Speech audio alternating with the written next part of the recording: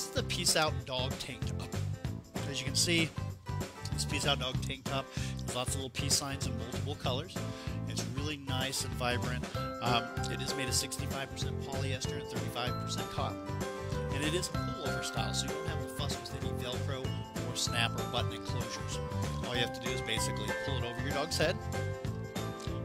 This is Joey, and he's going to help me demonstrate this, I hope. He looks a little tired today. The guy was sleeping. I was going to pull it over his head, pull his ears out. And then I'm going to just adjust it. Actually, kind of shimmy down his back here.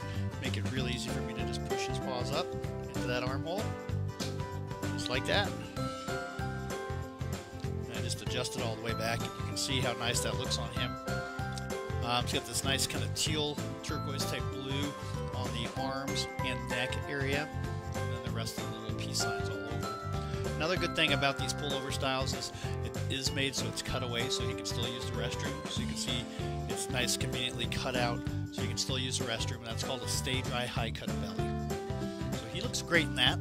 Um, this particular one that he's wearing is the uh, size small and it's the bluebird color which means it's that turquoise type blue that's actually on the sleeves and neck area um, so this is a great item um, just look at the size chart to find out which one will fit your dog best. Um, go off of the chest measurements the length measurement and the neck measurement to ensure that your dog will fit into the size that you're looking for. So once again this is the peace out dog tank top